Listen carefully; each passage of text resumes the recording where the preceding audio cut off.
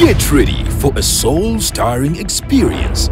Jozefin Pob and Friends proudly present the highly anticipated live album recording event. Join us on 2nd November 2024 at Theatre La Bonita.